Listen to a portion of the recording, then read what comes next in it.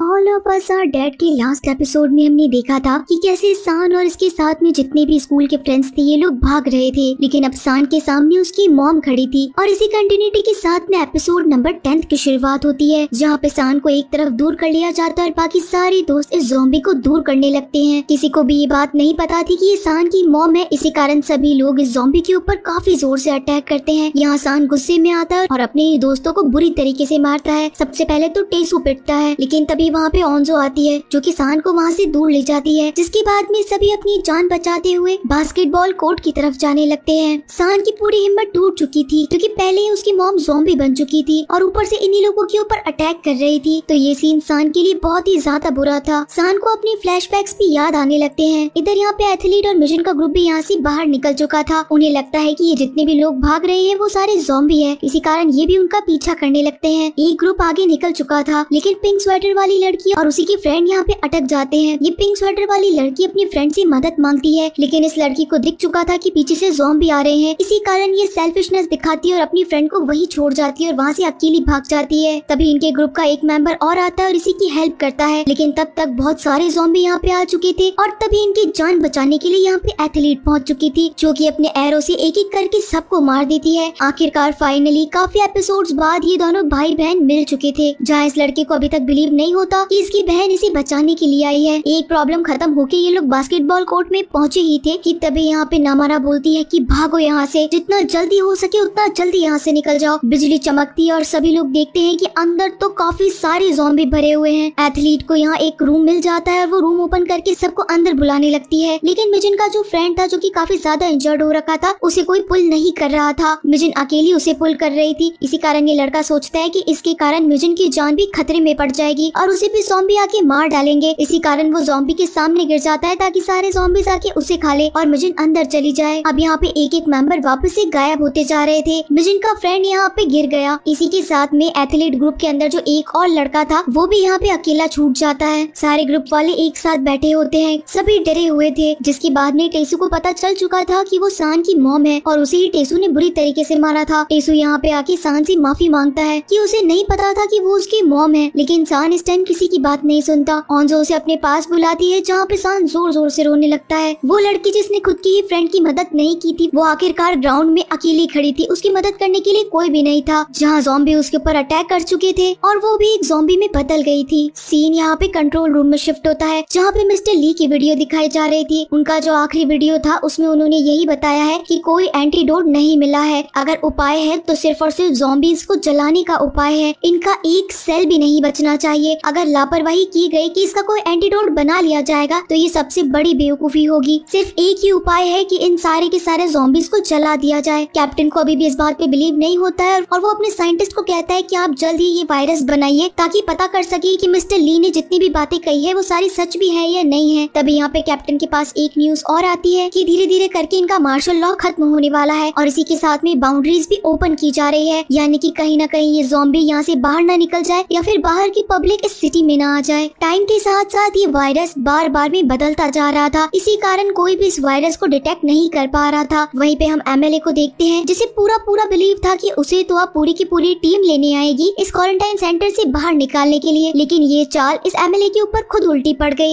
MLA की team का एक मेंबर आता है, वो भी रेजिग्नेशन लेटर लेके। और एमएलए को कहता है कि आपने जो वर्ड्स बोले थे और आपने जो अपना स्टेटमेंट दिया था, उसके कारण सारा इल्ज़ाम अब आप पे लग रहा है एक फायर फाइटर को भगाने के लिए। तो अगर आपको अपनी इज़्ज़त प्यारी है तो आपको बस ये रेजिग्नेशन लेटर एक्सेप्ट कर लेना चाहिए। एमएलए इस टाइम पे कुछ नहीं बोल पाती, क्योंकि उसने सोचा था कि उसके साथ तो सब कुछ अच्छा होगा, लेकिन उसे ही टीम से बाहर निकाल दिया जाता है। यहाँ पे हम मोन्जो के फादर को भी देखते हैं, जो कि अब स्कूल में आगे बढ़ने के लिए कुछ कलरफुल लेस ले लेता है। अब अगले सुबह धीरे धीरे करके सब लोग उठ जाते हैं। पिछली रात काफ़ी तेज बारिश हुई थी। यहाँ पे ऑनजो और सान एक साथ में बैठे थे, जहाँ पे अब इन दोनों के बीच का झगड़ा कम होता जा रहा था। और इसी के साथ में ये डिसाइड करते हैं कि यहाँ से बाहर निकल के हम लोग बहुत सारी बातें करेंगे, क्योंकि शायद अब इन दोनों के ही पेरेंट्स इनके साथ में नहीं है। यहाँ पे ऑनजो के फादर पेड़ों के ऊपर निशान लगा रहे थे कि कहीं वो गलती से वापस से इसी जगह न पहुँच जाए। लेकिन काफ़ी दिनों से भूखे रहने के साथ में डिहाइड्रेशन भी उन्हें हो चुका था, और इसी कारण वो चक्कर खा के वहीं गिर जाते हैं। यहाँ नामारा सबको बताती है कि ये जगह हमें जल्दी खाली करनी पड़ेगी। मुझे महसूस हो रहा है कि zombies हमें जल्द ही यहाँ पे ढूंढ लेंगे। यहाँ पे एथलीट का भाई उससे पूछता है कि, दीदी, आपका तो कोई टूर्नामेंट था ना? क्या आप नेशनल में सेलेक्ट हो चुकी है? अब जब सिचुएशन इतनी खराब हो चुकी थी तो यहाँ पे कौन सा नेशनल और कौन सा गेम देखना बाकी रह गया था? तो मिजन बात को संभालती है और खुद की फ्रेंड की बढ़ाई करते हुए बोलती है की हाँ ये तो नेशनल में सेलेक्ट हो गई है। हालाँकि एथलीट नेशनल में सेलेक्ट नहीं हुई थी। तो एथलीट का भाई बोलता है की, दीदी, सच बताओ, आप नेशनल के अंदर सेलेक्ट हो गई? यानी कि आप नेशनल खेलने के लिए जाएँगी? अब तो आपको कॉलेज में भी एडमिशन मिल जाएगा। तभी यहाँ पे टेसू पहुँचता है, जो की एथलीट को बोलता है की, मैं आपको बहुत पसंद करता हूँ। मैं हमेशा से तुमको देखता था और साथ ही साथ अपनी फीलिंग एक्सप्रेस करने के बारे में भी सोचता था। एथलीट कहती है, तुम वही लड़की हो ना जो मेरे भाई को हमेशा साला साला कह के बुलाते हो? तो टेसू एकदम से हंसने लग जाता है। एथलीट अपना हाथ देती है खड़े होने के लिए तो टेसू को लगता है कि ये लड़की तो मेरी बात मान गई। तभी ये एथलीट खड़ी होती है और धमाधम करके टेसू को बहुत बुरी तरीके से मारती है कि साले, तुझे शर्म नहीं आई मुझे ऐसी चीज़ें कहते हुए? तो टेसू कहता है कि मैं मरने से पहले बस यही आखिरी बात बोलना चाहता था। मुझे नहीं पता कि यहाँ पे कब जॉम्बी आ जाएँगे और मैं कब जॉम्बी बन जाऊँगा। तो इसीलिए यही रीजन था कि मैं तुम्हें ये बात बोलना चाहता था। तो आखिर मैंने गलती क्या की? इधर हम यहाँ पे गुएनाम को भी देखते हैं, जिसकी पूरी बॉडी टूट चुकी थी उसके बावजूद भी वो टेरिस पे आ चुका था सान को ढूँढने के लिए। उसे वहाँ पे कोई भी नहीं मिलता। अब यहाँ पे सुयो को एक आइडिया आता है। उसे यहाँ पे जितने भी ये बॉक्सेस दिखते हैं, ये इन सबसे शील्ड बनाने के बारे में सोचते हैं और फिर इसकी मदद से बाहर निकलेंगे। लेकिन यहाँ पे मिजन और एक लड़की के बीच में बहस हो जाती है। लड़का बोलता है कि हम लोगों को शील्ड लंबी बनानी चाहिए, जबकि मिजन बोलती है कि इन बॉक्सेस को हमें ढकना चाहिए। इन दोनों में ये बहस काफ़ी ज़्यादा बढ़ जाती है और झगड़ा हो जाता है, जिसके बाद में इन लोगों को नमारा चुप कराती है। तो मिजन पूछती है कि आखिर तू कौन है? तब जाके नमारा बोलती है कि वो क्लास की प्रेसिडेंट है। हालाँकि अगर वो किसी को इस टाइम पे बोल देती कि वो जॉम्बी है तो वैसे ही सारे के सारे लोग डर जाते जिसके बाद अब वोट होता है इस लड़के और मिजन के बीच में कि शील्ड को लंबा रखा जाए या फिर इसे बॉक्स की तरह बनाया जाए। सब लोग इसे लंबा रखने के बारे में सोचते हैं, क्योंकि शायद जॉम्बीज को चढ़ना नहीं आता है। यहाँ दूसरी तरफ़ कैप्टन को अब साइंटिस्ट बताते हैं कि हमने जो वायरस बनाया है, वो तकरीबन 19 परसेंट तक मिस्टर ली के वायरस से मैच खाता है। इसका मतलब है कि पहली बात तो इसका कोई एंटीडोट नहीं निकलेगा। दूसरी बात ये है कि ये वायरस नया बनाया गया है। इसी के साथ में जिस इंसान को ये वायरस इंजेक्ट हो जाता है, उस इंसान का दिल धड़कना बंद हो जाता है। यानी कि ये जोम्बी एक ज़िंदा लाश है। ये वायरस सीधा दिमाग के ऊपर अटैक करता है और उसके बाद में दिमाग से कंट्रोल हो रखे जोम्बी इधर उधर घूम रहे हैं। जो जोम्बी बन चुके हैं, उनके अंदर तो पूरे पूरे सिम्टम्स है। लेकिन तभी वो कैप्टन यहाँ पे यूंजे को देखता है, क्योंकि यूंजे के अंदर जोम्बी वाले कोई भी सिम्टम नहीं थे। वो बिल्कुल नॉर्मल लड़की की तरह आई थी और ऊपर से उसका दिल भी धड़क रहा है। यानी कि इस वायरस की कई सारे फेसेस हैं। कैप्टन यहाँ पे मार्शल लॉ को बढ़ाने के लिए एक मीटिंग अरेंज करने के लिए बोलता है। यहाँ सारे बच्चे एक दूसरे को अच्छी तरीके से कवर कर लेते हैं, ताकि अगर कोई जॉम्बी बाइट भी करे तो ये इन्फेक्टेड ना हो। सान को यहाँ पे एक चॉकलेट बार मिलती है और वो सबको दिखा देता है। लेकिन वो चॉकलेट एक्सपायर हो रखी थी। लेकिन अब इस सिचुएशन में जब इनके साथ में काफ़ी दिन निकल चुके हैं, इन्होंने कुछ खाया पिया नहीं है तो ये एक्सपायरी चॉकलेट बार भी इन्हें बहुत अच्छी लग रही थी। इनमें से कुछ मेंबर इसे एक एक बाइट करके खाते हैं तो कुछ इसे आगे बढ़ा देते हैं। सान यहाँ पे ऑन्जो को हैंड ग्लव्स पहनाता है। सभी लोग वापस से हिम्मत करते हैं और उसके बाद दरवाज़ा खोल के बाहर निकल जाते हैं। लेकिन बाहर निकलते ही यहाँ पे काफ़ी सारे जोम्बी आ जाते हैं। ये लोग इस बॉक्सेस का राउंड बना देते हैं और इसे फिर बाँध भी देते हैं। लेकिन आगे से धक्का नहीं दे पाते क्योंकि काफ़ी सारे जोम्बी इसके आस पास आ चुके थे। तो पहले ही तो इतने भारी बॉक्सेस और उसके बाद में इतने सारे जोम्बी तो आखिर धक्का कैसे लग पाता? जोम्बी तो एक के बाद एक इनके ऊपर बुरी तरीके से अटैक कर रहे थे। ना तो अब ये पीछे भाग सकते थे, ना ही ये आगे चला पा रहे थे। यानी कि सारे स्टूडेंट इस सिचुएशन में बहुत बुरी तरीके से फंस जाते हैं। इन्हीं में से वही लड़का जिसका मिजन के साथ में झगड़ा हो रहा था। उस टाइम पे काफ़ी सारे जोम्बी मिजन को बाइट करने ही वाले थे। कि तभी ये लड़का मिजन को बचाने के चक्कर में जोम्बी को धक्का देता है और वो इस जोम्बी इस लड़के के हाथ पे काट लेता है। ये लड़का समझ चुका था कि अब इसके पास में बिल्कुल भी टाइम नहीं है और अगर ये अंदर रहा तो भी कोई फ़ायदा नहीं होगा। इसी कारण ये सबको बिना गुड बाय किए ही वहाँ से बाहर निकल जाता है ताकि कई सारे जोम्बी उसके ऊपर आ जाए और ये लोग अपनी ट्रॉलीज को आगे निकाल पाए। वो लड़का बाहर कूदता है, काफ़ी सारे जोम्बीज को अलग करता है और ट्रॉली को भी दूर तक खींचता है। लेकिन आखिर कब तक बच पाता? ये लड़का भी पूरी तरीके से जोम्बी में बदल जाता है और अब अपने ही दोस्तों पे अटैक करने लगता है। यानी कि एक मेंबर और कम हो गया। इधर कंट्रोल रूम के अंदर मीटिंग होती है कि धीरे धीरे करके ये लोग आगे बढ़ते जा रहे हैं और कहीं ना कहीं बाहर की बाउंड्रीज से लोग भी यहाँ पे आने वाले हैं। तो या तो मार्शल लॉ बढ़ाया जाए ताकि बाहर की सिटी का कोई इंसान यहाँ ना आ सके और यहाँ का कोई जॉम्बी बाहर ना जा सके। लेकिन आखिर ये बात कैप्टन को पता कैसे चली? क्योंकि कैप्टन का एक और कलीग था जो कि दूसरी गवर्नमेंट के कंट्रोल रूम के अंदर बैठा था। इसी कारण कैप्टन को ये सारी बातें पता चली थी। कैप्टन के पास अब कोई ऑप्शन नहीं था। इसी कारण वो कहता है कि वो हाइसन स्कूल के ऊपर एक न्यूक्लियर बॉम्ब गिराएगा। कुछ सोल्जर मना करते हैं कि यहाँ पे अभी रेस्क्यू करना बाकी है, लेकिन कैप्टन के पास कोई ऑप्शन नहीं था, क्योंकि कुछ लोगों के अंदर तो सिम्टम्स दिखाई ही नहीं दे रहे थे। अगर उन्हें रेस्क्यू कर लिया गया और वो बाद में जाके जॉम्बी बन गए तो पूरी की पूरी दुनिया खत्म हो जाएगी। इसी के कारण जिन लोगों की जान बच रही है, उससे ज़्यादा इन लोगों को खत्म करना ज़रूरी है। ये लोग हाइसन स्कूल पे न्यूक्लियर बॉम्ब गिराने वाले थे। इतनी ही देर में योंजे जो कि पूरी तरीके से जोम्बी नहीं बनी थी, बल्कि इंसान थी, वो खुद को फ्री कर लेती लेती है, बाहर आती है और उसके बाद में लिखती है कि इसी भूख लग रही है। यानी कि यूंजे जो कि आधी जॉम्बी और आधी इंसान है, बहुत ज़्यादा डेंजरस है। इधर यहाँ पे ऑनजो के फादर भी स्कूल के अंदर एंटर कर चुके थे, लेकिन इनके पीछे भी कुछ जॉम्बी लग चुके थे। ये सीढ़ियों से नीचे गिरते हैं, जिसके बाद का सीन कट हो जाता है। सुयोग और ऑनजो दोनों मिलकर दरवाजे को खोलने की कोशिश कर रहे थे और बाकी सभी इन ट्रॉली को पकड़ के खड़े थे। काफ़ी देर हो जाती है, लेकिन फिर भी दरवाज़ा खुलता नहीं है, क्योंकि दरवाज़ा दूसरी तरफ़ से बंद था। यह आवाज़ें तो अब गोयनाम भी सुन चुका था और वो भी इन लोगों को